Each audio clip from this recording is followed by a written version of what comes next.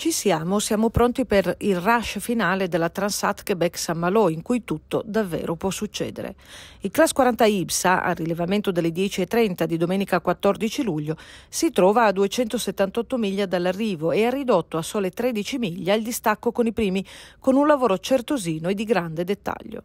Ora Alberto Bona, Pablo Santurde dell'Arco e Luca Rosetti sono al dunque verso il passaggio dell'isola di Uessan, la psicologica porta d'ingresso della Manica lato Costa Bretone. Noi intanto siamo già arrivati a San Malò e camminando lungo i bastioni della cittadina corsara ci sembra di essere la coppia moderna delle antiche famiglie dei navigatori, quelli senza tracking, che da qui attendevano per settimane e settimane nell'incertezza il ritorno dei navigatori, correndo lungo le fortificazioni e fino al porto. A lui forse potremmo chiedere qualche informazione. È Jacques Cartier, l'esploratore che a fine Cinquecento arrivò in Canada.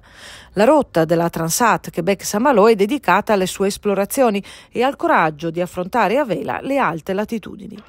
Da quassù, dai bastioni più alti della città corsara, quella in cui proprio Jacques Cartier, un navigatore, è sepolto con tutti gli onori nella cattedrale, c'è la sintesi della Bretagna.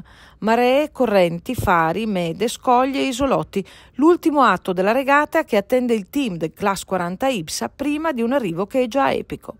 Gli approdi sono pronti e noi non vediamo l'ora di abbracciarli e vederli dopo questa dura esperienza di mare.